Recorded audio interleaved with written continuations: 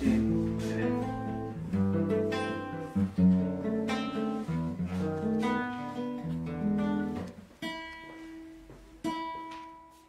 verdad que considero que esta canción es eh, de alguna manera un homenaje musical y poético a la tejedora.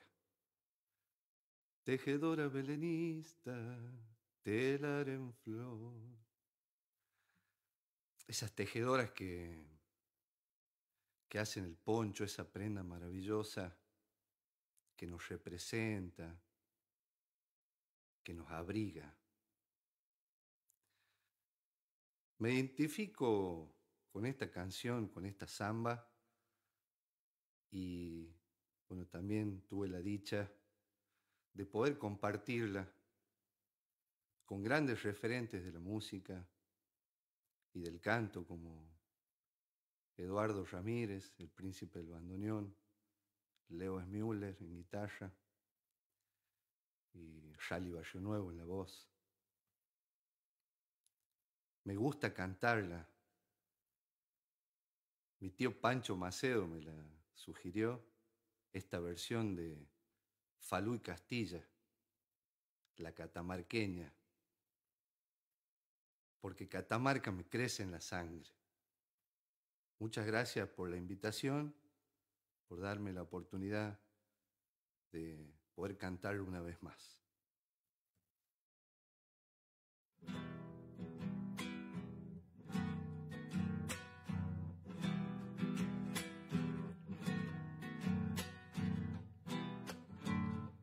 Si me voy, volveré, hecho sombra, dolido otra vez, la tierra por dentro de tanto cantar me quema y mi boca quiere florecer. La tierra por dentro de tanto cantar me quema y mi boca quiere florecer. Yo sé que me verás, hombre solo tendido a llorar porque Catamarca me crece en la sangre, como crece el río en el arenal. Tejedora belenista, telar en flor, y las con hilos de luna, la pena con la canción. Agüita de olvido bebo de tus manos ardidas al fuego de mi corazón. Agüita de olvido bebo de tus manos, ardidas al fuego de mi corazón.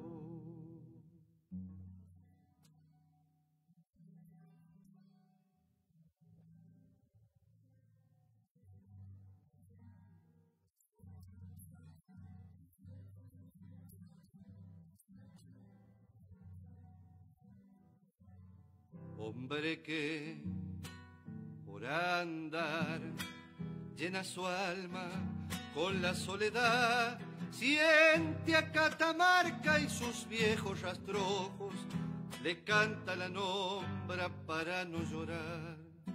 Siente a Catamarca y sus viejos rastrojos, le canta la nombra para no llorar. Mi Belén no hay adiós. Es el tiempo de azul vendimial. Por donde me vaya me sigue esta samba y en mi pañuelito florece un hogar. Tejedora belenista, telar en flor y las con hilos de luna, la pena con la canción. Agüita de olvido bebo de tus manos, ardidas al fuego de mi corazón. Agüita de olvido bebo de tus manos, ardidas al fuego de mi corazón. oh. oh, oh.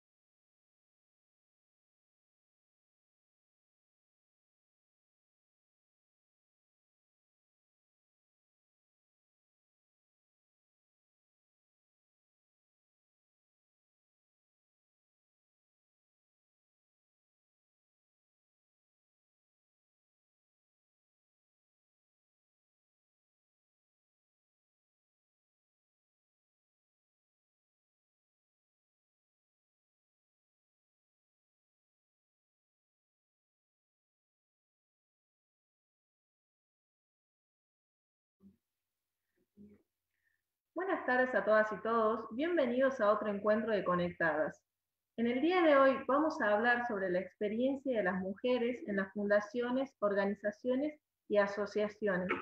Por eso mismo tenemos como invitadas en el día de hoy a Sofía Gatica, quien está al frente de Madres de Ituzangó, línea fundadora, a Noemí Sepúlveda, presidenta de la Asociación Catamarqueña de Sordos, a Alejandra del Valle Paceto, presidenta y fundadora de AFASU, Ayuda y Asistencia a los Familiares del Suicidio, a Amparo de la Cruz Soria, presidenta y fundadora de la Fundación Amparo, a Mercedes Elena Balú, quien representa a la Asociación de Padres de Personas con Autismo Catamarca, y a Griselda Bazán, presidenta de la Asociación de Personas y Familiares de Discapacitados Motores. A continuación nos va a brindar unas palabras de bienvenida el vicegobernador de nuestra provincia, el ingeniero Rubén Duso. Buenas tardes, Rubén. Por favor, active el micrófono. Sí, buenas tardes a todos. Van a participar hoy del decimonoveno ciclo de Conectadas. Eh, no es un tema menor cuando lanzamos esto el 22 de mayo a instancia de las chicas de la vicegobernación. Ahí está Salomé como moderadora, que es una de las menorcitas, pero que no por eso no es capaz de moderar y de llevar adelante estas cosas. Y bueno, yo estoy orgulloso de lo que están haciendo las mujeres de la vicegobernación y aparte orgulloso de que participen ustedes y que puedan mostrar cómo una mujer puede llevar adelante lo que es una asociación, una organización, una fundación, y, lo reconozco en cada una de ustedes a un trabajo inclaudicable y que lo están haciendo muy bien, no sin ello, con un gran esfuerzo. Así que el mejor de la participación y que puedan dar un buen mensaje. Y éxito, Salomé. Chao. Muchas gracias, Rubén. Hasta luego. Hablar de, estas, hablar de estas organizaciones, fundaciones y asociaciones es hablar de problemáticas existentes en la sociedad, de las cuales se están haciendo cargo personas comprometidas que buscan cambiar una realidad e ir construyendo un mundo un poco mejor. A continuación nos va a contar su historia Sofía Gatica, quien se encuentra al frente de Madres de Ituzango, línea fundadora. Buenas tardes, Sofía. Hola, ¿qué tal? Eh, buenas tardes. Eh, bueno, eh, mi nombre es Sofía y pertenezco a las Madres de Ituzango, línea fundadora. Somos todas madres afectadas por los agrotóxicos, o sea, madres algunas tienen cáncer, otras tienen niñitos con leucemia, otras a hermanos, todos debido a las fumigaciones que se hacen en nuestro barrio. Eh, la mayoría de gente afectada, entonces nosotros nos organizamos para luchar contra los agronegocios, contra las corporaciones, y una de las grandes luchas que hemos llevado a cabo nosotros fue hacer un relevamiento de 5.000 habitantes para saber por qué nos estábamos enfermando de cáncer, por qué nuestros hijos estaban muriendo y por qué eh, el Estado eh, se encontraba ausente, ¿no? Y demostramos de que sí, la gente estaba afectada por los agrotóxicos, el glifosato, el endosulfán, el DDT, el malatión, y eh, hicimos un mapa donde empezamos a marcar a toda la gente enferma, fuimos casa por casa a, a visitarlos y encontramos más de 300 casos de cáncer. Eh, y salimos a la calle diciendo que nos estábamos enfermando de cáncer, que nuestra familia se estaba muriendo y que nos dieron una respuesta. Cuando el Estado hace, mm, hace oídos, eh, nos hace, nos recibe y nos dice que ellos estaban haciendo estudios de agua para ver si era verdad lo que estábamos diciendo. Y se comprueba que todo el barrio había tomado agua con glifosato. Eh, y bueno, eh, tuvimos que salir a cortar la calle porque no tenía, no nos dejaba opción el gobierno porque queríamos respuesta a nosotros, porque no era que, está bien, te enfermaste, nosotros queríamos que frenaran las fumigaciones, queríamos que existiera una política pública de que no, o sea, restringiera el uso del agrotóxico, sobre todo de las fumigaciones. Hicieron ordenanza, yo creo que mm, somos en la Argentina los únicos que tenemos estas ordenanzas, porque no creo que haya otro barrio en Argentina que tenga 2.500 metros de las viviendas, la prohibición de la fumigación, tanto terrestre como aérea. Pero nos tuvimos que enfermar todos. Eh, mi hija nació con malformación de riñón, eh, mi hija murió. Eh, hay chiquitos que nacieron con seis dedos, hay chiquitos que nacieron sin maxilar, sin el de la cabeza. Hay mamás con cuatro o cinco tumores en la cabeza. Eh, Ezequiel Ariaga, que murió de 25 años con más de 20 tumores. La hermana que murió con cuatro o cinco tumores también. Entonces, queríamos que el Estado nos dé respuesta. Las respuestas vinieron, pero tardes.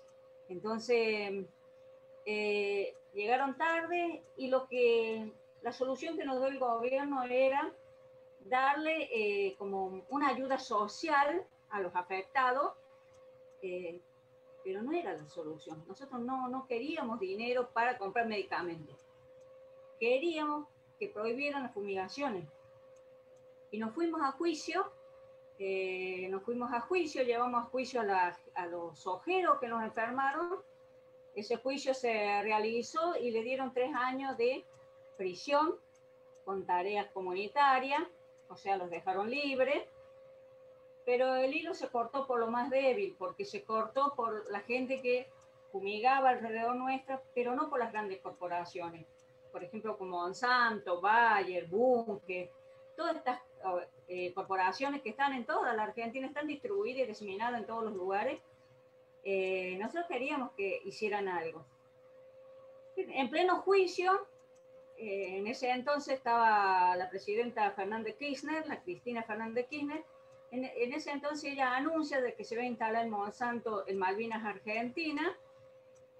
Y nosotros ya no, no nos quedaba nada, porque la verdad que si ustedes nos dicen que nos quedaba era luchar. Decidimos ir a bloquear el lugar donde, donde se iban a instalar esa corporación y le cerramos el paso a 36, 37 hectáreas rodeamos toda, toda, toda, toda, toda la, la corporación, no los dejamos entrar a trabajar y nosotros fuimos por cuatro días, porque decíamos en cuatro días la corporación se va a ir. Y pasó un mes, y pasó dos meses, y pasó tres meses, y la corporación seguía insistiendo, llegó la policía, nos reprimieron, eh, nos imputaron, porque estábamos como bloqueando una propiedad privada, así que bloqueamos el lugar, eh, nos imputaron, nos golpearon. Eh, yo tuve traumatismo de cráneo porque me metí abajo la rueda de los camiones para que no pasaran, me sacaron y me golpeaban. A nuestros compañeros también los golpeábamos, así que estábamos todos internados en el hospital. Y volvimos al lugar y después mandaron a la UOCRA, porque como no nos pudo sacar la policía, mandaron a los, a los hermanos, parientes, tíos de los trabajadores de la corporación de Monsanto. Y nos fueron con palos a la mañana temprano y entraron a nuestro bloqueo y nos, nos golpearon. Hubo más de siete chicos quebrados los brazos, la nariz, la cabeza. Y y también terminamos en el hospital y no nos pudieron sacar. Tuvimos cuatro años bloqueando una corporación y la corporación decidió irse. No era una corporación cualquiera.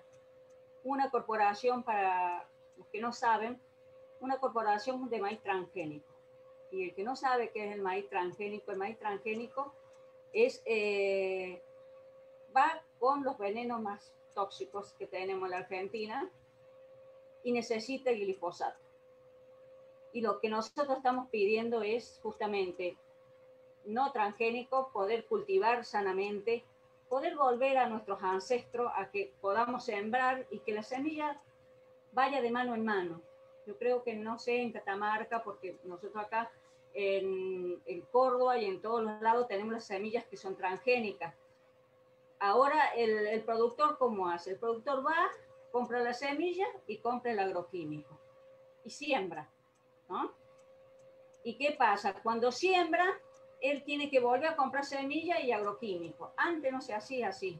Antes se guardaba la mejor semilla, se volvía a sembrar y se volvía a cosechar y no necesitábamos del agroquímico.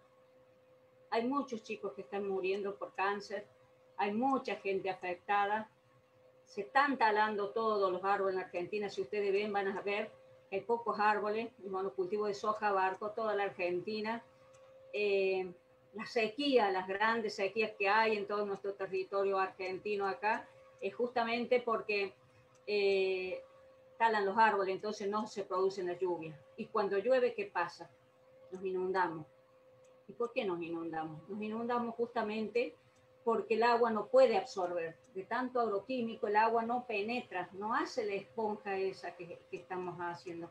Entonces, la lucha que nosotros llevamos como madres afectadas por los agrotóxicos es la lucha por la vida, es la lucha por la semilla, es la lucha por vivir y comer sanamente, de que vuelvan los tambos, de que haya vacas en los campos y que no nos talen tantos árboles y que, y que no nos maten de a poco.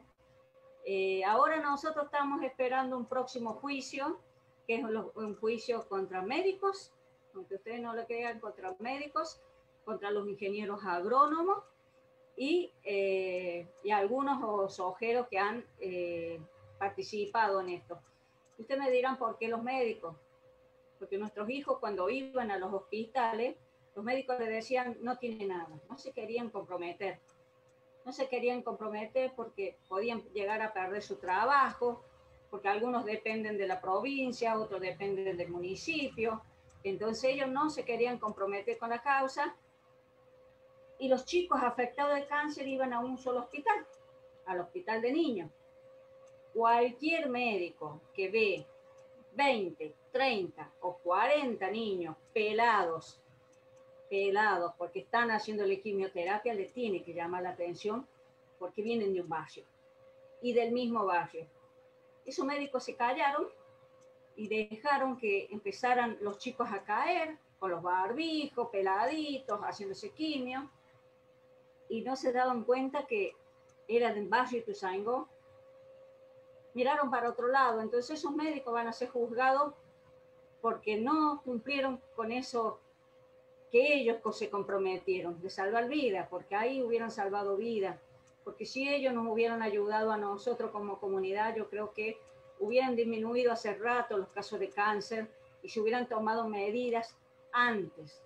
Las medidas se tomaron cuando nosotros salimos a la calle a decir que nos estábamos enfermando, cuando nosotros logramos hacer los análisis, porque no es que yo digo, bueno, nos enfermamos, logramos hacer los análisis. Mi hija, por ejemplo, tiene de 3 a 4 agroquímicos en la sangre. Eh, le hicieron análisis de sangre, análisis de pelo, de leche materna, eh, todo tipo de análisis. Hasta hicieron análisis de PCB, porque decían, puede ser que el PCB, el PCB, lo que llevan los transformadores, haya enfermado a la familia, a la gente del barrio. No, los niños no tenían PCB. Eh, ni de 0 a 50 partes por millón, ni de 50 a 500 partes por millón, no tenían PCB hicieron análisis de metales pesados a la gente porque decían pueden ser los metales pesados.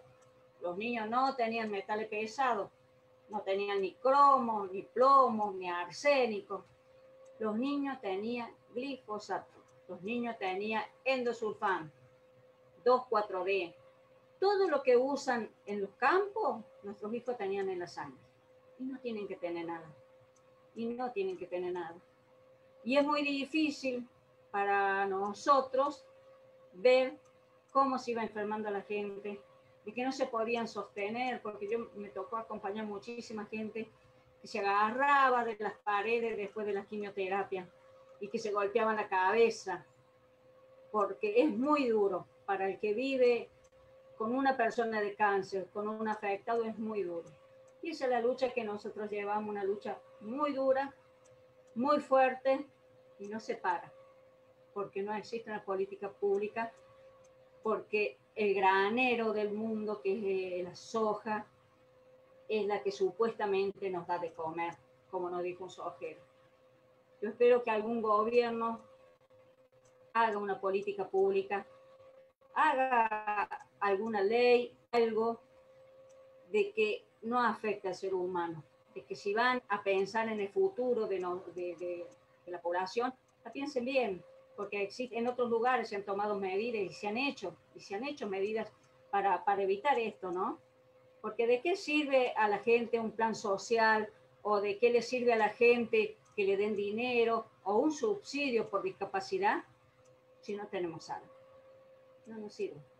Así que esa es nuestra lucha y es muy largo, yo quisiera contarle un montón de cosas, pero eh, el tiempo acá eh, así me tienen así. Eh, y ojalá algún día tengamos oh, una reforma agraria. Esa reforma agraria que se hizo en Brasil, donde las tierras sean para todos, se distribuyan en partes iguales, donde todos tengamos tierra, porque acá en Argentina hay mucha tierra, pero nada más que la tierra está en pocas manos y si se hace buena distribución, yo creo que, y que se siembre y coseche, porque la tierra es para quien la trabaja. No estoy hablando de usurpaciones, ¿no? No estoy hablando nada que ver eso. Estoy hablando de distribución de la tierra que la haga el gobierno para todos aquellos y que se les dé subsidio a los pequeños agricultores que no usan agroquímicos y empecemos a cambiar esta forma de cultivar y de envenenar a la gente. Muchas gracias.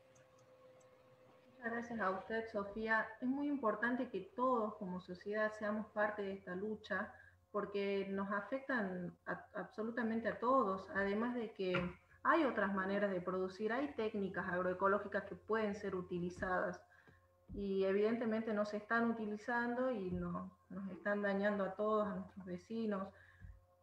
Sinceramente, muy interesante tu historia, me parece muy importante que la hayas podido compartir con nosotros en el día de hoy. Y bueno, más que nada quisiera transmitir ese mensaje de que todos seamos parte. Y, y bueno, me gustaría también de que salga el juicio a su favor y que sean los médicos juzgados de la manera adecuada. Porque uno como médico no puede hacer eso que estuvieron haciendo. Es la salud de toda la población de los niños, más que nada. Así que bueno, muchísimas gracias Sofía por dedicarnos tu tiempo y espero que, espero que puedan conseguir todo lo que buscan, espero que se tome conciencia y que podamos adquirir otra forma de producir. a continuación nos va a contar su historia la presidenta de la Asociación Catamarqueña de Sordos, ACASO, e instructora de lengua de señas argentinas, LSA Noemí Sepúlveda. Buenas tardes, Noemí. Buenas tardes a todos. ¿Cómo les va? Muchas gracias por invitarme. ¿Y quién soy yo? Soy una persona sorda.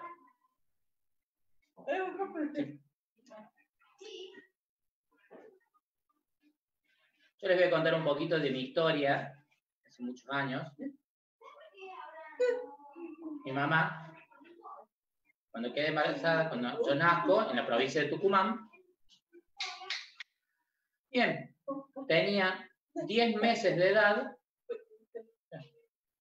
una persona me contagió de sarampión y enfermé. Después, más o menos con dos años de edad, empecé, mi mamá se dio cuenta que me hablaba, Noemí, Noemí, Noemí. Me llevó al médico, allá a Tucumán, me llevó al fonoaudiólogo, hicimos trabajo y fui creciendo. Más o menos, cuando yo tenía 6 años de edad, 7, fui a la escuela, escuela primaria. Regresé, yo estaba muy contenta de ver a mis compañeros. Bien, justo me encantaba como la instructora enseñaba lengua de señas, toda la comunidad, pero la instructora no nos dejaba. No nos dejaba. Era obligación oralizar. teníamos que Bien, después fui creciendo, más o menos de 10 años, me vine a vivir acá a Catamarca. Bien, estaba muy, seguía muy preocupada para encontrar una escuela, porque faltaba que yo, yo tenga que estudiar. Bien, fui la primera una escuela de oyentes, una escuela privada. Apenas ingresé, todos mis compañeros que eran oyentes, no, no podía comunicarme, tenía muchas barreras, y entonces yo me sentía muy frustrada. Bien, fui a una escuela privada donde me volvieron a esa, y en esa escuela fui a otra escuela, un número 31, María Luisa, estaba muy contento porque era una escuela para sordos. Entonces ingresé, tenía más o menos 12 años, y apenas ingresé, me encontré con personas sordas, entonces podía comunicarme. Cuando comencé el curso, en el timbre, nos podíamos comunicar con la inversión. Pero otra vez, con un palo, nos pegaban en las manos y otra vez nos negaban la lengua de señas. Yo me sentía muy oprimida, siempre de vuelta a oralizar. Bueno, y así fui creciendo, con 18 años de edad. Terminé la escuela y bueno, yo, ¿y ahora qué hago? Yo deseaba seguir estudiando, entonces deseaba hacer la secundaria, pero ¿dónde? ¿Pero? Faltaba acá. Bien. Le pedí a mi mamá que por favor buscase una escuela, una escuela privada, pero acá faltaba. el problema de las personas era la comunicación. Nadie me quería ayudar. Yo me sentía sola. Durante cuatro meses, después volví, pedí vuelta a mi mamá que buscara. Entonces me metió a la escuela Lenet número dos, donde dice la escuela de la costería. Por favor, vamos a Buenos Aires. Es el primer año con 18 años. Quiero hacer la secundaria, le decía yo. Bueno, ahí terminó. Bueno, empecé a trabajar en un supermercado, en una fábrica, en Cofecat, de, de la costurera. yo siempre sentía que tenía un problema, no sabía cuál, no entendía por qué había que oralizar y no manejarse Siempre con mi familia era, me oralizaba. cuatro personas sordas de, de la provincia de Tucumán que vinieron acá me explicaron que era una asociación, yo no entendía que era una asociación. ¿Para qué sirve? ¿Qué significa una asociación? No importa, vamos, yo te muestro. Yo pienso, ¿qué diferencia hay entre oralizar y la lengua de señas? Yo no la sabía hasta ese. Fuimos a Tucumán, en mi familia. Yo no sabía que en Tucumán había una asociación, si mi familia era de ahí. Bueno, fuimos a la asociación. A la apenas con mi amigo, el nombre que decía el logo, asociación, un grupo de personas de la comunidad sorda de Tucumán. Y ahí entendí un poco, ¿son solo sordos? ¿Solo son sordos? Claro, ahí me abrió los ojos y ahí entendí un poco. Vamos. Al momento cuando entré, yo no entendía, me sentí oprimida, en ese momento me sentí oprimida. Cuando ingresé la primera vez, claro, sentí una emoción en el corazón impresionante, se me erizó la piel, porque era hasta las lágrimas, porque era la primera vez que veía que la gente se comunicaba en lengua de señas, personas adultas. Yo, estaba impresionada, claro, y ahí entendí todos estos años para atrás, toda esta angustia que yo tenía con la lengua de señas, que los profesores me decían, que me hacían bula, que me decían que, no, que se tenía que oralizar, que no me podía comunicar con las manos, y ahora entiendo que sí se puede. Claro, ahí le pedí perdón a Dios, yo no entendía por qué no me podía comunicar. Ahora que encontré a mis amigos, a mi amigo Luis Fagalde, que era el presidente de la asociación, me dice, está bien que oralicé, pero hay que utilizar la lengua de señas. Entonces él me acompañó, me contó, fuimos al segundo piso donde estaba la comisión directiva, yo no entendía tampoco, decía, había muchos logos de muchas de otras provincias, las asociaciones, entendí la CAS, la Confederación Argentina de Sordos, ¿qué, ¿qué es eso? Yo no sabía, eso me impresionó. Entonces pensé, en Catamarca, en Catamarca no hay, falta una asociación. Entonces, ahí me quedó claro, le agradecí a Luis Pagalle, me enseñó cómo era el tema de una asociación que todas las provincias había, una asociación de sordos. Bien, al volver a Catamarca, pensé, me interesó tanto el tema que volví a ir a Tucumán, a la asociación, como el tema de la fundación de una asociación. Entonces, para aprender, para preparar bien y fundar una asociación aquí en Catamarca. Bien, la persona Luis Fagalde llegó a Catamarca, otras cuatro personas, María, Pablo, Soria, Rocío, y Luis, vinieron a Catamarca, nos juntamos con gente de la comunidad sorda de acá de Catamarca, le informamos bien de vuelta cómo era el tema y le quedó claro. Entonces Luis le contó, ¿quién va a ser el fundador, el primer fundador? ¿Quién va a ser? ¿Quién va a tomar la decisión? Ahí tomé yo la decisión de ser la fundadora. Y a decir, una mujer fundadora. En toda la Argentina, en todas las asociaciones son todos hombres. Una mujer fundadora. Bueno, está bien. Si vos te manejas la decisión, está bien. Toma la decisión, vas a ser la presidenta de la fundadora. Bueno, así como comencé a trabajar, si comenzó a trabajar, tomé la decisión y así continué trabajando, estudiando, recordando con nuestros amigos Luis, Pedro, fueron todos los que nos capacitaron, por fin. También me comentaron que había una escuela en Mendoza que podía hacer la secundaria. Entonces viajé a Mendoza hacer cuatro años y terminé la secundaria allá. volviendo a Catamarca, enseñé a todos mis compañeros la lengua de señas, toda la comunidad sorda, cómo fue este trabajo, todo lo que buscaba, todo lo que, que había que tomar la decisión de viajar, de tomar la decisión de aprender. También recuerdo que en Paraná, en la provincia de Entre Ríos, había una tecnicatura universitaria en lengua de señas. Vamos a estudiar la tecnicatura.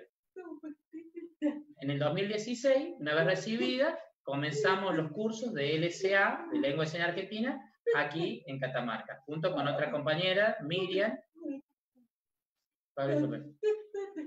También junto a otros intérpretes oyentes y otros asesores oyentes que nos ayudan, como Gabriel, Candela, Antonella. Mi hermana, mi hermana también nos colabora, porque los oyentes nos, nos colaboran. Es muy importante en el deseo. Hace 26 años que venimos luchando. Esta semana es muy importante también, porque esta semana es la semana del sordo. El 19 de septiembre es el día, el día argentino del sordo. ¿Por qué? Porque en 1885, una persona que tenía tres hijos sordos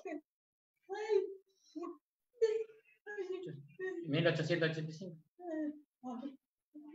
De nombre Antonio, de apellido Terry. personal. Este hombre, en el 85, tuvo tres hijos sordos. Entonces se dio cuenta de la problemática en toda la Argentina. Él viajó a Europa, se interiorizó del tema. Entonces, al volver a la Argentina, luchó y luchó en el Congreso de la Nación para que se aprobara la ley número 1662 que inauguraba la, la primera escuela para niños sordos de Argentina, que reconocía la identidad y la cultura de la lengua de señas aquí en Argentina. Es muy importante. Imagínense todo ese tiempo que se viene luchando, en 1885.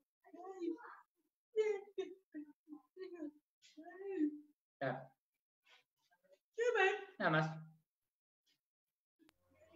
Muchas gracias, Noemí. Es muy lindo todo lo que lograste hacer dentro de la asociación. La primera fundadora. Sí. Sí, sí, eh, continúe. ¿Quiere añadir algo más? Sí, continúe. Sí. Esta semana es muy importante, es muy respeto en este día, porque es, esta semana es la semana del sordo. El día 23 es el día, fue el día nacional de la persona sorda en todo, el, mundo. Toda esta semana fue de festejos. El, 23 de esta semana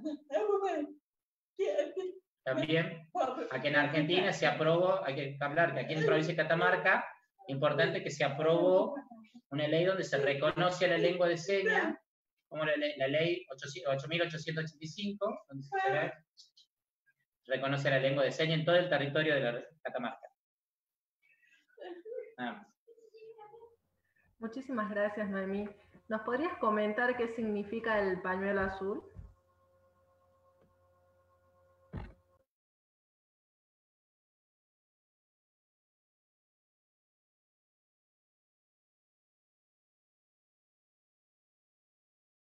Por favor, Gabriela, activa el micrófono. Ahí está. ¿Por qué el color azul?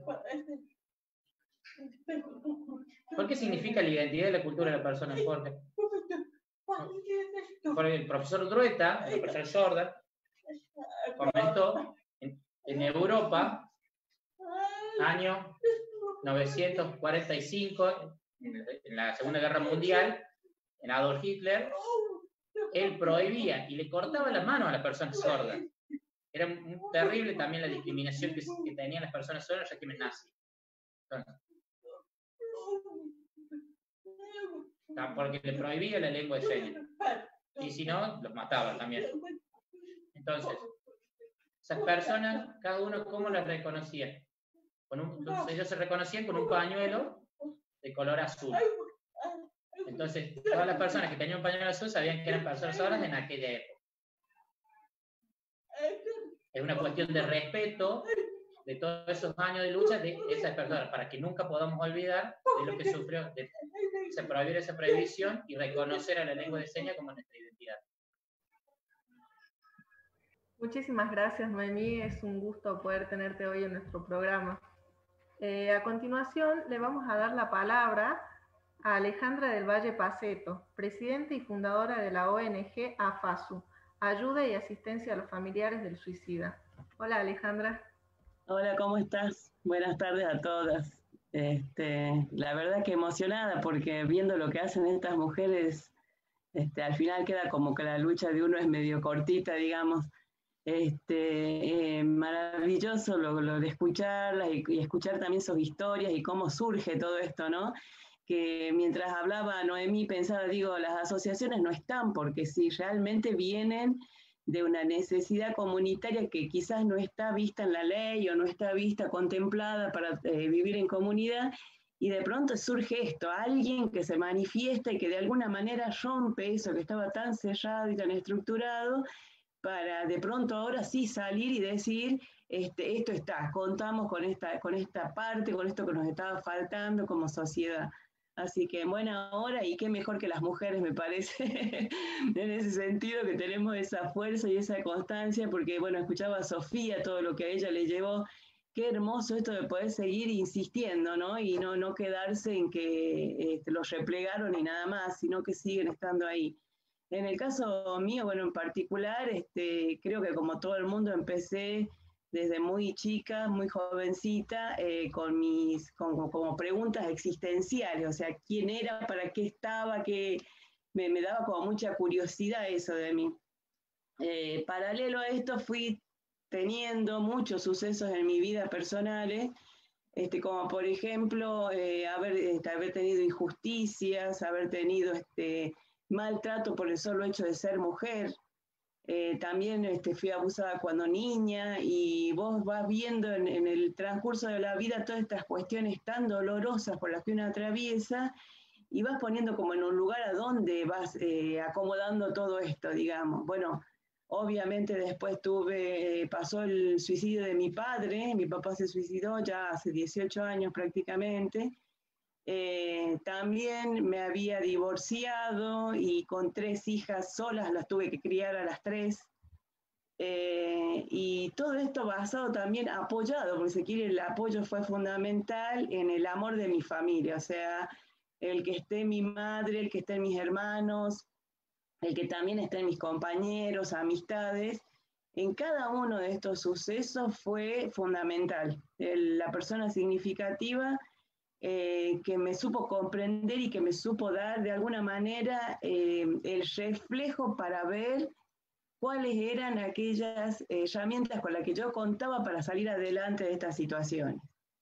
Este, y si hay algo que también admiré en mi persona, y, no sé si es por estas cuestiones de, de, talentos, digamos, con los que uno ya de alguna manera viene, eh, es el don de la oportunidad y la oportunidad de conocer gente tan significativa y fundamental en la vida de uno, eh, no tan solo para ayudar, sería en mi caso, sino también eh, para que me enseñaran cosas a mí. Y así es que después del suicidio de mi papá, que acá en Catamarca yo buscaba incesantemente averiguar, conocer, saber qué nos había pasado como familia, por qué eh, bueno, les comento que se suicidó en el 2002, en esa época se suicidaron 59 casos, mi papá fue el número 48, eh, y la pregunta mía era, eh, o, el replanteo que hacía yo era, ¿y ahora qué hago con esto? O sea, me pasó esto, no, no le pasó al vecino, me pasó a mí. Es mi mamá, están mis hermanos, en ese momento ya tenía mis hijas, eh, y era esa inquietud, esa cuestión que siempre tuve de querer hacer algo, tenía que hacer algo con esto, no me lo podía quedar este, guardado. Eh, y así fue que se cruzó en mi camino el licenciado y ahora amigo Carlos Martínez, eh, quien era en ese momento el presidente de la Asociación Argentina de Prevención del Suicidio, eh, y fue esta cosa de encontrar por fin un conocimiento real eh, sobre lo que es la suicidología, sobre lo que era eh, organizar una asociación que ayudara en la prevención. Y sobre todo, que creo que fue lo que más me cautivó y lo que desde entonces no, no he dejado y ya se ha convertido en una misión de vida, eh, es entender que el suicidio, en sí como conducta humana es eh, un proceso que se puede desarticular. Es decir, lo afirmamos y lo confirmamos desde los hechos y desde la teoría que el suicidio es una muerte evitable. Bueno, obviamente que se sumó a todo eso eh, también el conocer eh, a través de lo que es la logoterapia o la búsqueda por el sentido, que lo instaura Víctor Frank, otro de los que yo considero mis amigos, aunque no estén, este, a través de su, de su libro, de, su teoría de la logoterapia, eh, él viene a instaurar eh, la búsqueda por el sentido, el para qué vivir. Esta cuestión que muchas veces no, no está en nosotros preguntarnos, o sea, sale muy de vez en cuando preguntarnos para qué vivir. Y era justamente los primeros que se, que, se, que se acercaron, digamos, cuando empezamos a darle una, una forma de organización de ONG a FASU, este, eran justamente los propios suicidas o aquellas personas que habían intentado eh, un suicidio y se presentaban como angustiados, diciendo, mira, a mí me pasó esto, ¿qué será que lo iré a hacer de vuelta? Este, estaré enfermo, por qué me sucedió, esta cuestión de no conocer. Y bueno, y ahí es donde empezamos a trabajar entre lo que es armando equipos, digamos, de contención, un equipo que lo que procuraba era justamente guiar hacia esta eh, hacia este para qué vivir de la persona, orientándolos para que ellos mismos pudieran encontrar su propia respuesta y a través de lo que es el equipo de interdisciplinario, o sea, equipo de profesionales de la salud, trabajar desde la suicidología para aquellas personas que ya habían estado dentro del proceso y si no para las familias, tanto eh, de personas que estaban con intentos de suicidio fallidos, sino para las personas que ya se había suicidado un familiar. Y tan fundamental porque eh, el familiar de un suicida queda como un grupo de riesgo. Así que un poco era esta cuestión de la vida, y bueno, yo siempre decía, eh, y lo sigo diciendo, el motor fundamental para mí en ese momento en, el que realmente uno la pasa tan mal con un suicidio en la familia, que obviamente desearía que a nadie le pase, pero eso es medio inevitable cuando no, no hay un trabajo de, base, digamos, eh, es pensar que lo hacía por mis hijas. En ese momento, eh, mi nena menor tenía cinco años cuando mi papá se suicidó. Eh, y yo las miraba a ella y de primero decía, ¿cómo, ¿cómo le digo esto? O sea, ¿cómo ella se tiene que enterar sobre esto cuando nos parecía tan tremenda la situación? El escenario en sí, lo dramático, eh, lo lastimoso, la culpa, cómo, cómo te queda, cómo sigue estando enganchada con uno. Este, y ahí fue cuando se me encendió la lucecita, digamos, de, armar esta ONG, que fue inmediato, no pasó mucho tiempo, el suicidio de mi papá fue en, en noviembre del 2002, eh, la ONG se conformó en marzo del 2003 eh, y bueno, desde entonces venimos caminando con, con, el tema de la personería jurídica, que por esta misma cuestión, creo que por el desconocimiento, se nos ha dificultado conseguir la personería jurídica un par de veces, nos cambian muchas veces el tema del estatuto, también en el medio se modificó el Código Civil, que nos dificulta esta cuestión de la organización como administración, ¿no? Pero son detalles, porque si muchas veces hemos tenido esto de que nos devuelven el estatuto, volvemos otra vez para atrás, volvemos a replantearlo, cómo presentarlo y todo lo demás, no hemos dejado de tener gente para atender, no hemos dejado de tener consultas eh, y que uno lo ve desde acá y dice tanta cantidad de personas que pudimos atender sin haber podido terminar un trámite administrativo. ¿Te imaginas lo que sería para nosotros terminar con ese trámite administrativo y bueno, obviamente poder darle a FASU el lugar y la identidad que necesita y que debe tener para poder trabajar como corresponde, ¿no?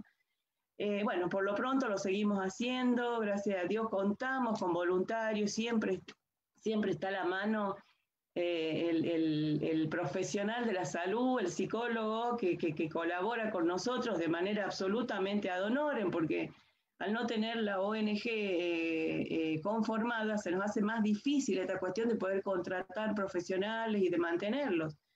Pero bueno, y la voluntad de las personas, la gente de alguna manera busca la forma de ayudarnos, de darnos una mano para seguir estando, para seguir este, no tan solo con el hecho de la palabra, sino también con el hecho de la, presencia en cuanto al accionar, el poder hacer cosas.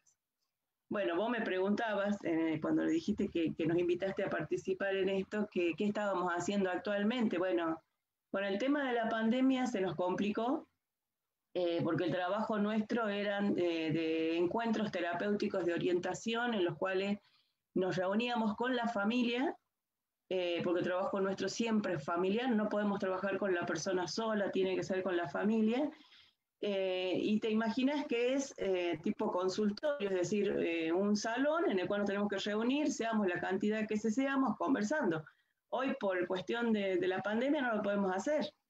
Así que eso se dilató en cuanto a reunión y ya no pudimos hacer más los encuentros pero sí lo que eh, propusimos a través de la página era poder seguir conectándonos por internet, a través de lo que es eh, teléfono celular y a través de lo que es WhatsApp, de lo que es eh, Skype, lo que sea. O sea, buscábamos la manera. No dio el mismo resultado, obviamente.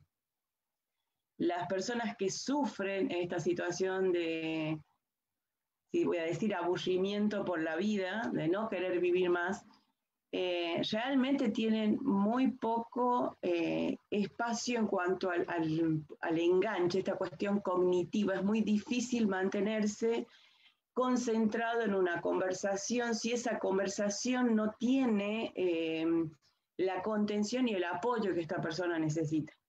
Y muchas veces esta pantalla no lo da. Esta pantalla un poco como que te, te separa, digamos, te pone en una actitud en la cual vos montás una imagen que no es la misma que cuando estás eh, cara a cara con la persona. Entonces, bueno, fuimos cambiando, dijimos, bueno, eso no da, veamos otra manera y ahora se nos ocurrió que sí notamos mucha aceptación en armar unos videos eh, tipo tutoriales, te voy a decir, en los cuales vamos a ir dejando eh, guía, orientación para que la persona sepa y mucho más en estos momentos, porque la pandemia también nos vino a plantear un desafío. La salud mental está corriendo una, una suerte de hilo delgado, muy delgado, en cuanto a las dificultades que se nos presentan hoy, tanto por el aislamiento como por cómo aceptamos eh, esta cuestión de la incertidumbre en cuanto al virus, en cuanto a la enfermedad, en cuanto a la recuperación, en cuanto al estar internado y estar solo de la familia. Eh, así que son desafíos que nos plantean no quedarnos y seguir, buscando la manera. A través de estos videos hemos empezado a encontrar esta manera de encontrarnos otra vez con las personas y llevando el mensaje, llevando el mensaje, abriendo la posibilidad del diálogo, ya sea que se comuniquen este, a través del mismo video, a través de poder conectarse por el teléfono, por el teléfono, perdón. que encuentren la manera de acercarse, de por lo menos para escuchar cuál es esa orientación, cuál es esa guía que necesita esta persona para no caer en este momento, en esta circunstancia que hoy nos toca vivir. Porque si hay algo cierto, perdón, muy largo. Preguntarle, ¿en dónde podemos encontrar esos videos que ustedes están haciendo? ¿Hay alguna página de Facebook, de Instagram? Sí, es la página del Facebook, que es Ayuda y Asistencia a los Familiares de Suicida, o AFASU, con todo con mayúscula doble A. Eh, y bueno, y ahí estamos este, haciendo también por YouTube, que obviamente ya lo vamos a armar al canal porque está eh, directamente lo compartimos en la página. Así que por ahí lo pueden hacer. Bien, muchísimas gracias. Quisiera añadir algo más.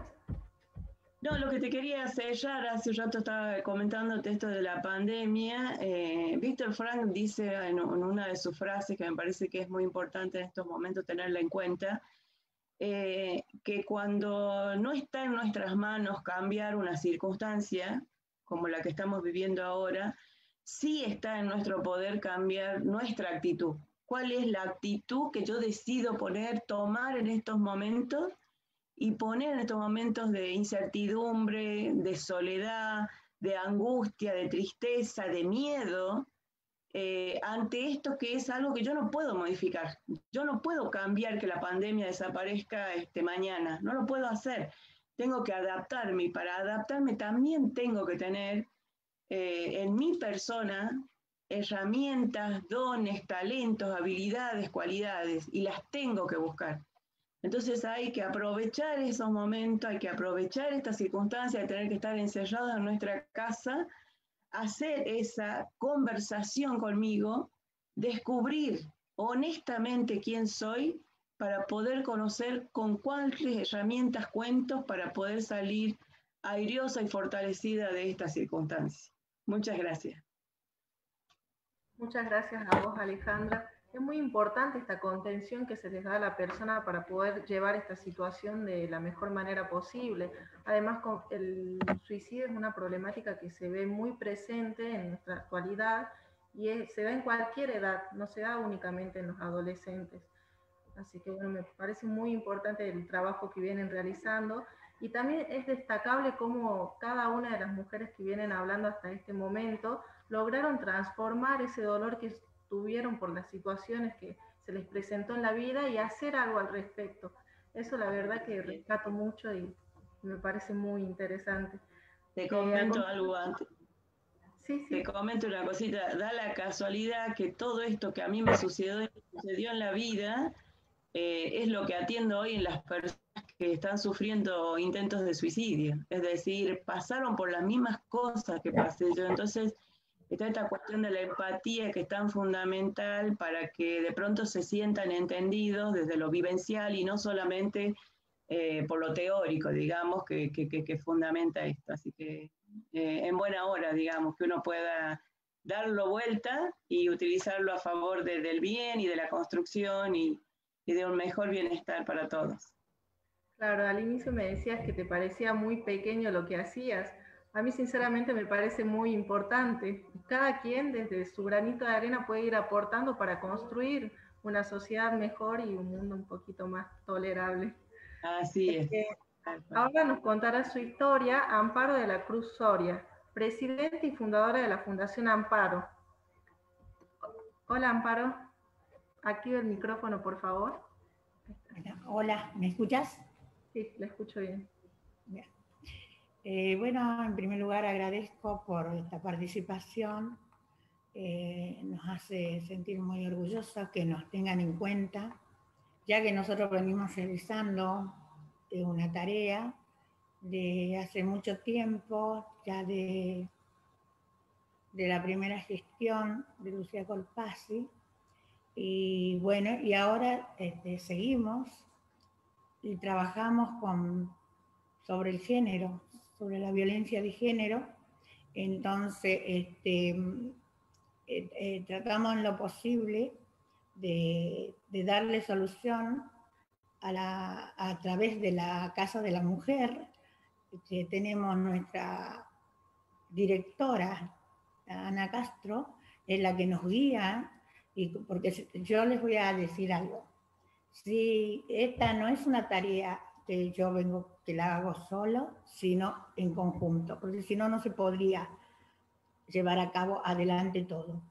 Y bueno, yo eh, estoy muy agradecida de las colaboraciones de desarrollo social eh, que tiene un equipo, eh, Marcelo Rivera, que, que siempre, con un poquito sí, de, digamos, por cuestiones de, todo lo que la situación que se está generando por la pandemia y por muchas cosas más, este, muchas veces no llegamos a lograr el objetivo que sería de, de tener los recursos necesarios, porque como bien decían acá las otras compañeras, este, también necesitamos el gran apoyo del, del, gobierno, que sí lo tenemos, eh, pero lo que pasa que, repito, este, bueno, no, no se puede, muchas veces no se puede y entonces nosotros buscamos la forma como ustedes compañeras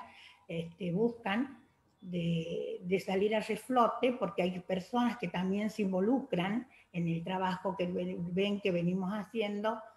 Y, vuelvo a repetir, este, un trabajo coordinado con la Casa de la Mujer, con la Dirección de Familia, con, con el Warney, con la directora del Warney, con, muchas compañeras. Eh, eh, ah, también yo me inicié, voy a explicarles cómo yo me inicié, cómo se me dio la posibilidad, de, porque si hubiese sido por mí sola nunca lo hubiese logrado.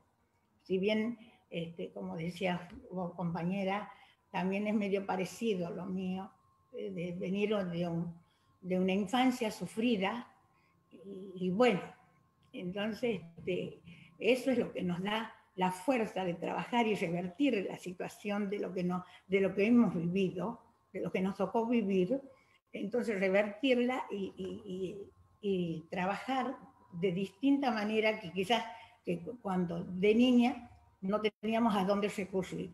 Entonces, esto por eso es que esto se generó el refugio de la mujer, este, repito, en la gestión anterior y con la gestión actual, este, muy agradecida del señor gobernador también de la provincia, y lo bueno, lo bueno de todo, que hay que trabajar en conjunto.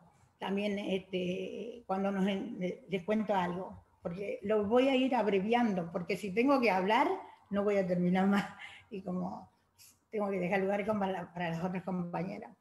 Entonces, eh, lo que yo les quiero contar es que nos entregaron un, un predio y en el cual vamos a, a llevar a cabo, si Dios quiere, a, través de la gestión, vamos a gestionar, porque nosotros como tenemos la fundación, nos tenemos la personalidad jurídica, este, es más fácil eh, y nos ponemos a disposición de las otras, de ustedes compañeras, si alguna vez necesitan, para que trabajemos en conjunto, porque eso es bueno, porque yo ya teniendo la persona, tenemos la personalidad jurídica, podemos hacer eh, grandes cosas. Les invito a que se sumen, que nos, subimos, nos sumemos todas a trabajar un trabajo en conjunto, porque así se nos, va a ser mejor. Entonces, nosotros lo que eh, eh, nos dijo el señor intendente Gustavo, ¿sabe? Que si Dios quiere, él se iba a involucrar en los temas, le, le interesaba mucho involucrarse en los temas de género. Entonces, que, le gustaba, que se iba a tratar de, de estar, eh, reunirse, eh, digamos, seguidamente o rápido, por la demanda que hay y que nos, no, no llegan a cubrir las otras instituciones eh, la situación de calle, y me refiero al refugio. El refugio que nosotros eh, tenemos un proyecto para hacer en la edificación que nos, nos donaron. Eh, es bastante amplio. bueno, ahí queremos nosotros porque tenemos un refugio de la mujer, de la, cuando sufre violencia la mujer, no sabe a dónde recurrir. Ahora, antes tenían que gestionarse más, ahora está más práctico, porque ahora directamente se dirigen a la fundación para que nosotros le demos el, el apoyo y se sientan contenidas, le damos la contención. Durante las 24 horas, la fundación trabaja y a cualquier hora, policía, gente que encuentra en situación de calle, la mujer no se anima a demandar por un temor, porque, porque vienen de violencia y se sienten más violentadas por el solo hecho que de amenazas, entonces no se animan a poner la denuncia. Entonces, nosotros, eh, para eso está el refugio, para, que, para tratar de, darle una solución inmediata, de que, de que tengan a dónde recurrir, tienen ya a dónde recurrir en este momento.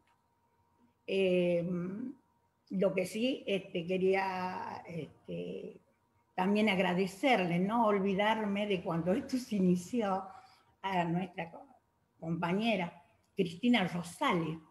Ella también fue una de las que también fundó también, digamos, el Warney y, y ahora también fue también eh, directora de la Casa de la Mujer y ella también supo eh, eh, eh, trabajar paralelamente y estar, digamos, atenta a la situación. Es una mujer que siempre, gracias a ella, hemos logrado muchas cosas también con la ayuda. hay que agradecer, porque hay que, hay que reconocer, porque sola no hubiéramos podido hacer nada. Entonces todos en conjunto, tengo un grupo de amigas, amigas que todo en este transcurso de esta pandemia, que yo pienso que debe ser por la pandemia, que no hemos llegado a, a concretar algunas ciertas eh, eh, gestiones de que, que todavía no nos llegaron, entonces la tratamos de pilotear, pilotear como sea, y entonces lo que, y llevarle la solución a la gente y, y que tenga la contención. Nunca hemos dejado, la fundación nunca dejó afuera más allá, porque le digo, de diciembre nosotros no, no recibimos recursos, a pesar de que nos podríamos, no, por cuestiones de gestión, de, de papelerío o por cambios que se han surgido que antes no los había. Entonces, eh, eso es lo que nos impide muchas veces, pero gracias a Dios y a las oraciones, lo vamos a hacer un poco espiritual ahora, las oraciones, este, logramos siempre que una mano se arrime a alguien, y más mis amistades, le agradezco desde acá, que siempre nos prestaron, porque estamos endeudados, les aviso. Estamos endeudados, y entonces, este, pero nunca hemos dejado de, de asistir a las personas que, que vienen así desesperadas, este, angustiadas, porque eh, muchas veces eh, el, tema de las otras organizaciones como el Guarni, que está Larry Carrizo, la, directora de familia, nuestra querida eh, y anfitriona Ana Castro, la directora de la Casa de la Mujer, es por eso que uno está acá, que nos da la fuerza para seguir este, en esta gran lucha, porque no deja de ser lucha. Y ya voy a aprovechar ahora, si me lo permite Salomé, y usted, usted es la que nos invitó y es la dueña de, bueno, digamos, de, esto, de hacer hincapié al gobierno de la provincia de Saúl, Jalil, es muy bueno, tiene mucha, digamos, mucha sensibilidad y muchas veces se demostró mucho con solidario porque su madre le enseñó. Su madre le enseñó, su madre, eh, yo, yo reconocí a su madre, muy solidaria, es tan así, que mi próximo, si, si, Dios quiere y se lleva a cabo el refugio, va a llevar el nombre de la madre de Raúl, que, que, que fue una mujer que, que no, lo hizo, no lo ha sido nunca público, pero que nos ayudó bastante. Y bueno, este, nos ponemos a disposiciones de todo lo que nos necesiten y de los que se quieran sumar a trabajar en comunidad para que, digamos, la sociedad cada día este, se sientan, la gente que viene sufriendo se siente partícipe de la sociedad. Entonces, nosotros queremos, eh, no sé qué más eh, decirle, de, de, llevar el mensaje a cada uno de aquellas mujeres que no se dejen, que no se dejen maltratar, que no se dejen, que hay gente que, que las va a ayudar, que no están solas, que no están solas. Para eso está mm, la Casa de la Mujer y coordinada, repito, trabajo coordinadamente con ellas, con el grupo, con el equipo técnico que nos brinda psicólogos, nos pone, eh, la directora de la Casa de la Mujer nos pone a disposición del equipo de psicología, eh, nos llevan eh, todo eso. Y la demanda a diario es cada vez nos supera, nos supera. Y, bueno, yo pido que urgentemente nos den una solución y que ojalá muy pronto tengamos para, que, para volver, para seguir este, trabajando y dándole solución a las, a las personas que vienen con, con muchas necesidades. si me quieren preguntar algo, Bien, muchísimas gracias Amparo, es muy importante esto que me estás contando. Eh, espero que se haya oído acerca del pedido que hiciste de recursos para poder seguir trabajando. Sí. Gracias por compartirnos tu historia y experiencia. Y bueno, a continuación eh, nos va a hablar sobre su historia Griselda Bazán, que es la presidenta de la Asociación de Personas y Familiares de Discapacitados Motores. Buenas tardes, Griselda. Buenas tardes, buenas tardes, mujeres guerreras de la vida. Eh, bueno, un honor y bueno, estoy muy, muy feliz de este espacio eh, en el cual este, comparto esta experiencia con, con, mujeres realmente luchadoras, ¿no? Eh, bueno, un poco como para comentarles, la Asociación de Personas y Familiares de Discapacitados Motores lleva ya 20 años 20 años de trabajo este, en continuos eh, eh, a, favor este, de las personas con discapacidad motora. Hoy está nucleando una, una, población de 360 asociados en lo que hace la provincia. Eh, la, situación este, de la pandemia nos ha limitado muchísimo más. O sea, nosotros estamos sin sin concurrir a la institución.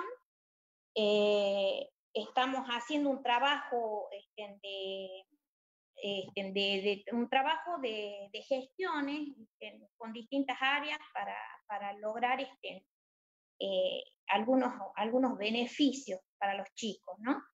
Eh, lamentablemente los chicos están pasándola muy, muy, muy mal, muy difícil, ¿no?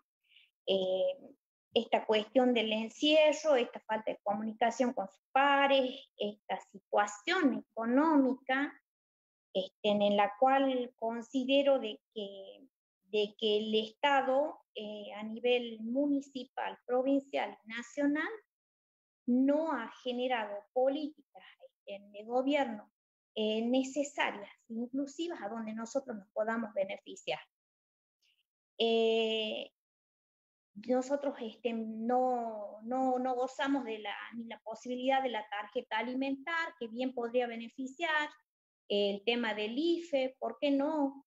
Este, eh, la población con discapacidad motora, este, no sé si hago bien en decirlo, pero es cara, es cara. Este, nuestros niños este, no usan pañales, nuestros niños usan sonda, medicación, férulas, ortesis, entonces sillas de ruedas, entonces como que este, eh, es, muchas veces en la pensión, porque la obra, la mayoría de, de los chicos que contiene nuestra institución no, no, no tienen obra social, tienen ese programa nacional que es el PROFE, que tiene este, deudas eh, infinitas de entrega de silla de ruedas, de entrega de pañales, entrega de medicación.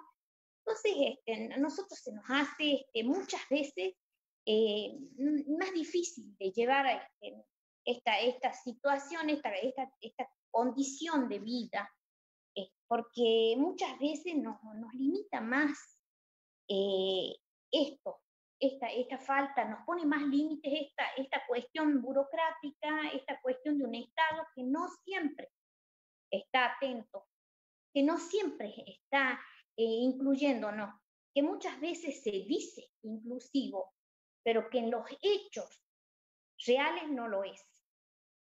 Nosotros, este, mm, eh, por ejemplo, en esta hemos logrado de conseguir este, a través de una gestión la vacuna. Hemos hecho este, previo protocolo, eh, llevar la enfermera con vehículos particulares a cada domicilio a hacerlos vacunar a los chicos. Después este, hemos conseguido la donación de una empresa que, que, vende, que vende alcohol en gel y quiso donarnos para que, bueno, le llevamos a cada domicilio. Y desde el, desde el desarrollo social, a través de la licenciada Argerich, que se comunicó con nosotros, este, nos, nos, porque realmente teníamos casos este, de extrema vulnerabilidad. Eh, entonces, este, se comunicó con la institución y nos dio la posibilidad de llevarle módulos a los casos estos de extrema necesidad, que están nucleados dentro de la institución. Eh, nosotros oh, tenemos una sede que, que, es un gran desafío, la sede, sostener la sede, que nosotros este, es una sede hermosa, que tiene este, es todo accesible, ¿no? Para, para, los chicos, en la cual nosotros funcionábamos desde las 8 de la mañana hasta las 8 de la noche. Los chicos ahí hacían este, la terminalidad de primaria, terminalidad de secundaria, eh, una tecnicatura en radio y comunicación, que es a través de un convenio de la universidad que logramos ese, esa tecnicatura. Tenemos este, danza folclórica a través de la Secretaría de Extensión Universitaria, tenemos música, un taller de reciclado. Entonces los chicos hacían, eh, desayunaban, almorzaban y merendaban en la institución. Eh, y nosotros este, no, no, no tenemos, no podemos, nosotros somos una ONG que no podemos pagar profesionales, ni siquiera en este, alguien que nos cocine, así que todo esto se armó a través de un, de un voluntariado el voluntariado de chicos que van a estudiar y que están haciendo sus últimos años y que les interesa la temática y que se comprometen y que nos ayudan. Eh, y bueno, hacen también boxeo adaptado, deporte adaptado.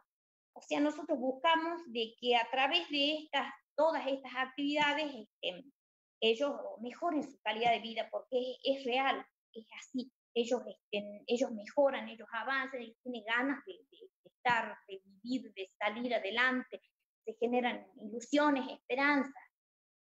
Pero este, mm, sí o sí eh, no contamos con una deuda del Estado de años y el transporte adaptado. Es una ciudad que eh, se hizo el tema este de la, la, presentación de cinco unidades de colectivos que hoy en día no está funcionando ni una, porque se rompieron las rampas, porque una serie de cuestiones.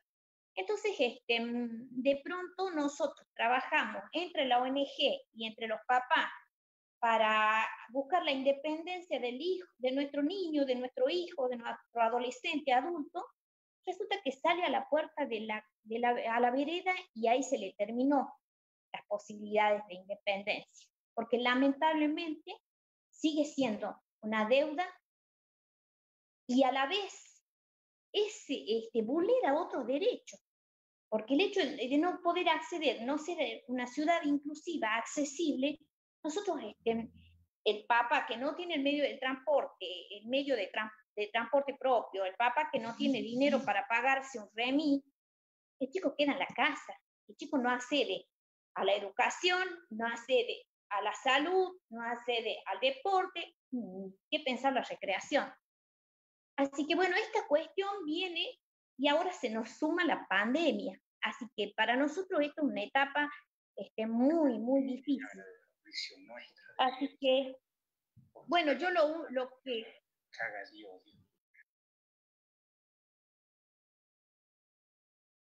Sí. Sí, continúe, por favor. Este, bueno, lo que yo sí este, quiero hacer este, este llamado de atención y un pedido este, eh, eh, que, que eh, fundamentalmente ahora cierra, creo ya, ya es tiempo de que cierren el presupuesto del año 2021. que no nos dejen de incluir, que nosotros somos parte de esta sociedad, que nosotros necesitamos que se respeten nuestros derechos, que hay niños, jóvenes y adultos que están, que están necesitando, necesitan de que el Estado esté presente, que las políticas de gobierno sean también, eh, estemos incluidos nosotros. Que no, que no, sean, no sea el Estado el que vulnere nuestros derechos.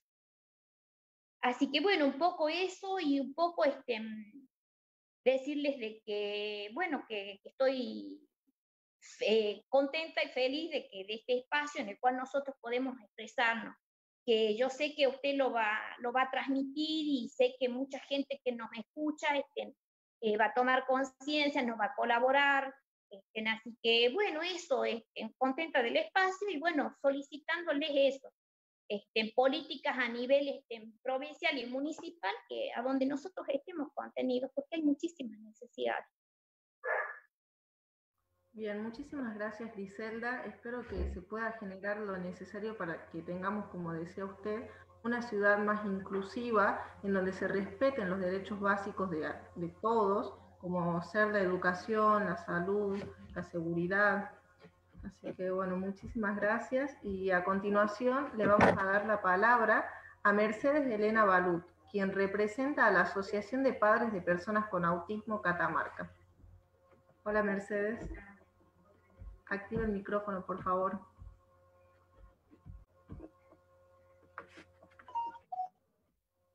Buenas noches a todos y bueno, muy halagada con este espacio que nos ceden para poder este, dar más visibilidad a algo que comenzó hace ocho años cuando este, en la primera gestión de la gobernadora, de la ex gobernadora Lucía Corpasi, eh, nacimos como asociación. Eh, necesitábamos eh, ese empujoncito del Estado para que nos puedan escuchar e incluir en las políticas públicas. antes de todo esto, el autismo estaba bastante confundido, que con relaciones a lo vincular de los padres. Y realmente, si uno preguntaba en algún lado quién tenía un chico con autismo, era muy difícil encontrarlos. Entonces, bueno, nuestro trabajo fue arduo porque tiene que ver mucho con la aceptación de la familia, con eh, develar un diagnóstico que no siempre es agradable, que es un trago bien difícil de pasar, lo sabemos por experiencia propia, y que también deambulábamos de una escuela a otra buscando vacantes para nuestros chicos y que realmente este, muchos chicos quedaron fuera de la escuela en ese entonces. Bueno, el nacimiento de la ONG tiene mucho que ver con la era lo que anhelábamos nosotros, podernos sentar en donde se, se discute la política pública y cómo se lleva adelante. Entonces sentimos que realmente fuimos escuchados. Eh, hoy en día la inclusión escolar eh, es prácticamente un hecho. Si bien hay todavía un largo camino por recorrer, hay bastantes cuestiones que tienen mucho que ver este, con la aceptación de los docentes a, que, a la diversidad en la que está el ser humano hoy en día, más allá de los diagnósticos. Entonces, creemos que hemos logrado un terreno bastante, bastante codiciado en épocas anteriores. Hemos tenido mucha ayuda desde la Dirección de Educación Especial, que a partir del 2000, fines de 2017, que estaba de directora este, Mónica Seleme, y bueno, todo el equipo de la gestión también nos han apoyado, se pudo realizar la inclusión en las escuelas, así también acompañados de, una resolución a nivel país eh, y con la Dirección de Educación Especial como un, centro de recursos para lograr que ese niño esté realmente en la escuela con los apoyos necesarios. Por supuesto que todavía falta, falta, faltan muchas cosas, falta que ese tipo de apoyos lo puedan tener todos los chicos, no solamente aquel hijo de, de alguna mamá, de algún papá que tiene obra social, sino todos los chicos en general es bastante, bastante ardua la tarea que hemos llevado a cabo, pero como siempre digo, nunca una tarea semejante se hace sola. Hemos tenido siempre el apoyo de las otras ONG y, en eso saludo a Griselda, a Noemí, a Maxi, que es de Down Catamarca, a todos los que nos han estado apoyando siempre, a la Fundación Utopías, porque en realidad eh, cuando discutimos algo que, es para un solo sector, eh, es una minoría, pero si nos juntamos y trabajamos todos juntos en pos del bienestar general, eh, es mucho más fácil. Así que, bueno, también hemos tenido mucho apoyo en el ámbito legislativo. hemos tenido leyes, sacado leyes favorables una de ellas es la, ley de atención a, la familia, a los familiares con discapacidad, que antes no teníamos nada, no había nada al respecto, tan solo un decreto que era interpretado a conveniencia en algunos casos de algunos directores. Hoy en día tenemos una ley que, que facilita el camino a los papás cuando tienen que realmente atender las necesidades de una persona con discapacidad. Y después, a fines del año pasado, también tenemos, salió la ley de adhesión a la Ley Nacional de Autismo 27043 y también una ley provincial, donde yo creo que es muy importante, muchas veces se menosprecia, pero es importante tener una ley porque a la hora de requerir los apoyos y todo lo que concierne a este universo enorme que es el autismo, eh, está bueno echar el guante a lo que ya está escrito y legislado. Esta ley prevé mucho, muchos avances, pero bueno, en este momento, al estar toda la provincia, el país y el mundo en una pandemia, no hemos podido sentarnos a, a ver de qué manera vamos a ejecutar desde la política pública lo inherente a, a mejorar los servicios desde, la, desde el Estado, desde los hospitales públicos, desde las postas sanitarias para la atención de los chicos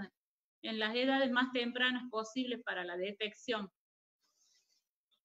Bueno, también quiero comentarles que eh, hemos conseguido un lugar, tenemos una sede que también eh, ha sido cedida por la gestión de la exgobernadora Lucía Corpasi, y, bueno, en esta sede este, podemos brindar un servicio eh, a través de profesionales y, y, más que todo lo que me eh, que no es gratuito, por supuesto, porque no disponemos de, de, para pagarle un sueldo a los profesionales, pero sí pueden ser las primeras orientaciones a un papá que recién asume o recién tiene un diagnóstico o las sospechas de qué le puede estar pasando a su hijo.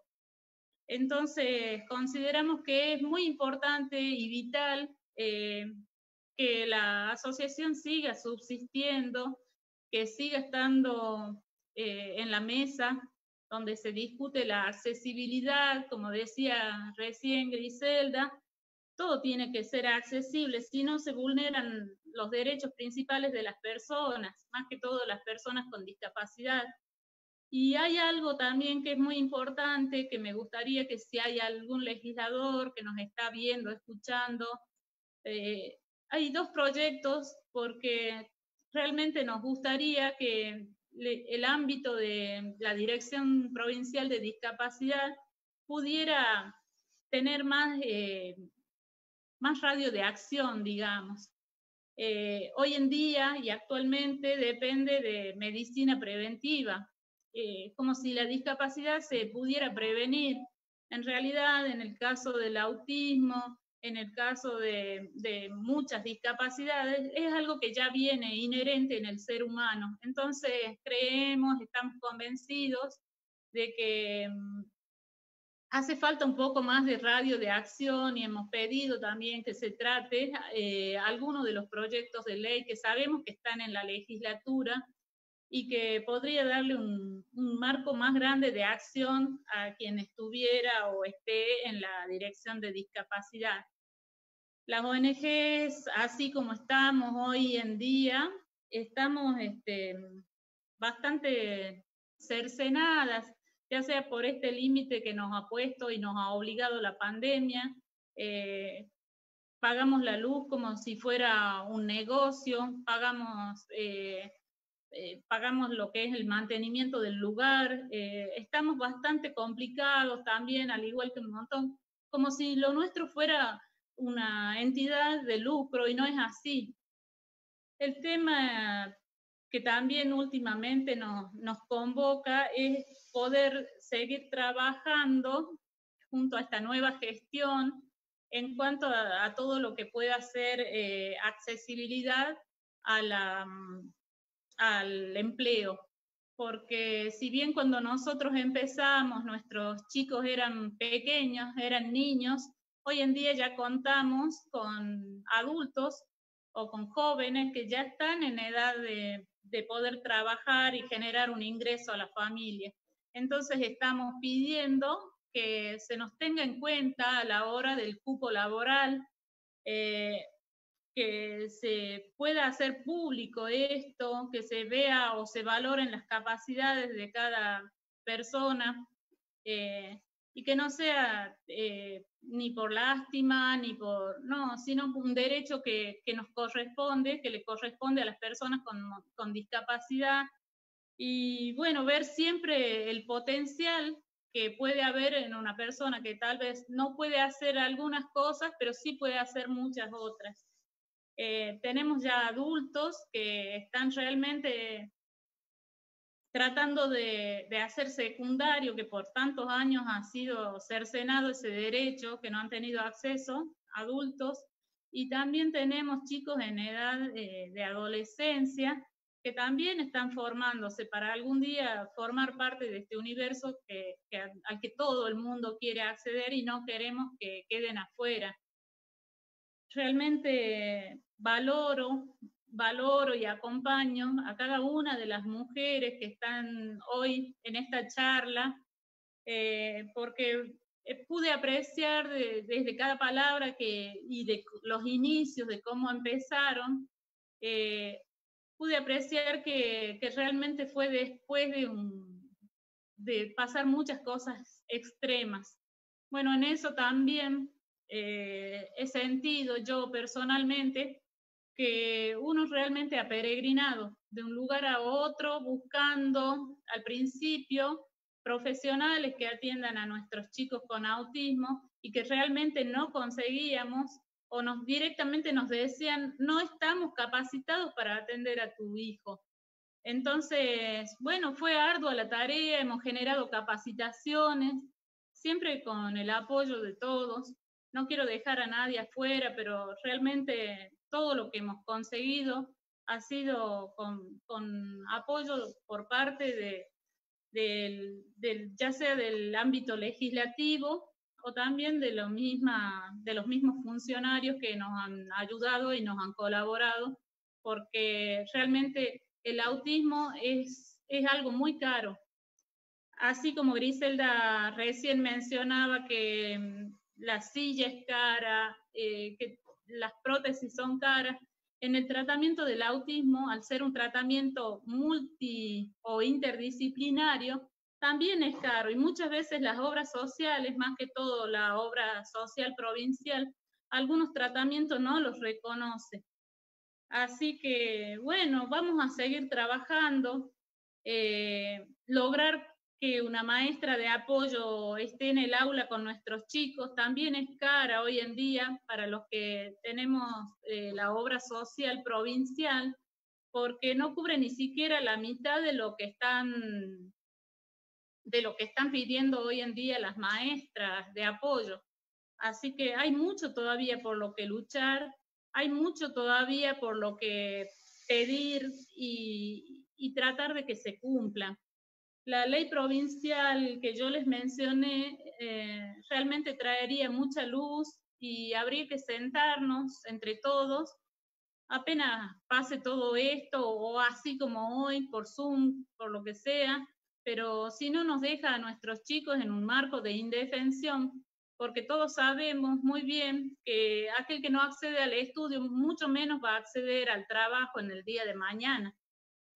Así que yo creo que es importante que sigamos unidas, que sigamos pensando que lo que cada una de nosotras está enarbolando o está queriendo hacer, eh, escuchar a la sociedad, eh, es realmente importante y es la construcción de un futuro mejor para los chicos.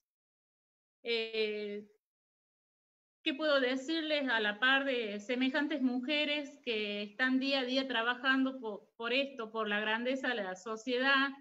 Y, bueno, nada más que una humilde, una humilde trabajadora que, que realmente también ha sentido por muchos años que no había sido escuchada nunca. Y bueno, hoy en día podemos decir que que han cambiado un poco las cosas, pero que necesitamos seguir cambiando y necesitamos que todos los papás de las personas con autismo y de las personas que no tienen autismo apoyen esta causa, porque esta causa no, no es de un sector en particular. El autismo no elige, el, el autismo le toca. Hoy en día, en la actualidad, eh, nace un chico con autismo cada 58 nacimientos. Entonces, yo creo que el porcentaje es muy alto, que realmente no es culpa de nadie, no se sabe todavía cuáles son las causas, pero eh, sí se sabe que el diagnóstico, lo más a las edades más tempranas que se pueda realizar, van a, favorecer notablemente la independencia y la calidad de vida en una adultez el día de mañana. Así que, bueno, yo mm, la verdad no sé qué más decirles, que tenemos una página de Facebook que se llama Asociación de Padres de Padres TGD Catamarca APAC y y bueno, tengo un número de teléfono que es el mío, también siempre estoy dispuesta a escuchar o a ayudar cuando alguien está con alguna sospecha o ya tienen el diagnóstico por ahí, los papás quieren saber qué es lo que se viene. Bueno, se viene la vida como la de cualquier otra persona, nada más que con otros desafíos que, que hay que llevar y, y, y ponerle todo la garra posible porque hay muchos derechos que cuidar, hay muchas cuestiones que tratar de, de aliviar esos caminos y, y bueno, a, acompañar estos procesos que no son fáciles, pero que bueno, que para eso ya hay, hubo un grupo de papás que han pasado por todo esto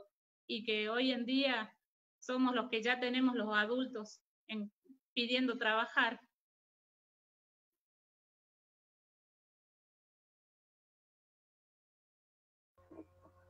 Muchas gracias, Mercedes.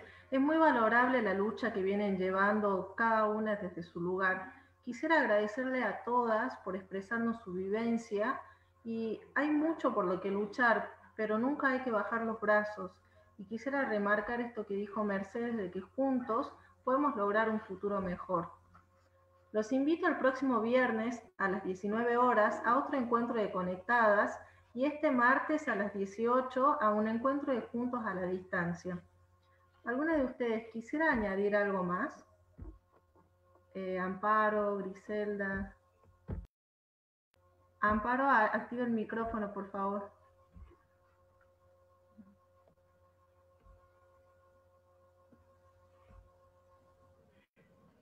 quería agradecer enormemente la participación que nos han dado y bueno, este, y vuelvo a reiterar, invitar a las personas que se quieran sumar y bueno, también que nos tengan en cuenta, eh, bueno, pedirle a Dios. Y el tema de la pandemia, para los que nos están viendo, este, nosotros tenemos la vacuna. La fundación tiene la vacuna. ¿Y sabe cuál es la vacuna? La oración y el rosario. Y eso nos va a ayudar mucho para seguir adelante. Eso es una de las pautas muy importantes. Nada más. Muchas gracias, Salomé. Gracias a usted, Amparo. Alejandra, quisiera agradecer. Sí, quería agradecerle el espacio, tu invitación. La verdad que este, muy bueno participar en esto y bueno, me gustaría que continúe, que no quede solamente en esta charla, sino que de alguna manera podamos mostrar las actividades que se hacen de todas las otras ONG y, y como dicen ustedes, seguir mancomunadas en esto para el bienestar de la comunidad, porque creo que Catamarca y los catamarqueños se lo merecen, ¿no? Totalmente, Alejandra. Muchas gracias a vos. Eh, Griselda, quisiera decir algunas palabras. Eh, no, simplemente agradecerles, agradecerles por el espacio y bueno, este, como dijo este, Alejandra también, que esto continúe, que podamos este, eh, seguir ¿no? Este, juntos para, para, mejorar la calidad de vida de, de, toda la población. ¿no? Y bueno, invitarlos a que nos visiten la página que tenemos de Facebook, que es Asociación de Personas y Familiares de Discapacitados Motores. Así que bueno, ha sido un gusto y bueno, bendiciones. Gracias. Mercedes, quisiera dar algunas palabras de despedida. Bueno, agradecer agradecer el espacio y sí, también apoyo la moción de, de, que esto no quede acá, de que sigamos unidas trabajando. Eh, por ahí parece pequeño el granito de arena, pero siempre es importante. De muchos granitos de arena se forma una playa. Así que bueno, eh, agradecerles y, y instarlas a continuar por este espacio o por cualquier otro que quisieran que quisieran estar. Gracias. Bien, gracias a ustedes. Muchas gracias. A, también quisiera agradecerles a toda la audiencia por estar aquí presentes, al equipo de la vicegobernación por estar en cada detalle y a nuestro vicegobernador, el ingeniero Rubén Duso, quien nos da la posibilidad de llevar adelante estos espacios. Espero que tengan un muy buen fin de semana. Nos vemos en la próxima.